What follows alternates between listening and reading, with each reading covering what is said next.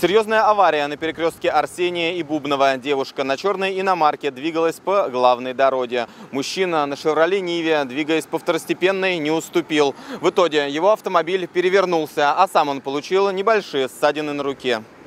Происшествие случилось в районе половины третьего дня. Спустя 10 минут на место подоспели медики и спасатели. Судя по всему, удар был достаточной силы, чтобы перевернуть легковушку вверх дном. Автоледи заверила, что двигалась на низкой скорости и перед перекрестком притормозила. С какой скоростью ехал мужчина, неясно. Ну, я сидел дома, смотрел телевизор, тут слышу шум, то есть машина перевернулась. Я, вышел, я выглянул в окно через балкон, вижу автомобиль перевернут. Вот это. Сразу позвонил в милицию и выбежал на улицу, чтобы смотреть. Спросил, как, э, как, он, как водитель и вот попросил, чтобы вызвали скорую. Первая помощь потребовалась только водителю «Шевроле». В карете скорой мужчине перебинтовали руку. После шока он смог дать показания сотрудникам ДПС. А вот его авто пострадало куда сильнее. Восстановлению машины, вероятно, уже не подлежит. После аварии с ней работали спасатели.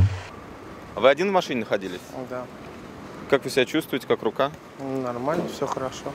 На заднем сидении в Ниве установлено детское кресло. К счастью, ребенка в авто не было. В том, кто виноват в происшествии, правоохранительным органам еще предстоит разобраться. Максим Серебряков, Михаил Кенгуров, РТВ Иванова.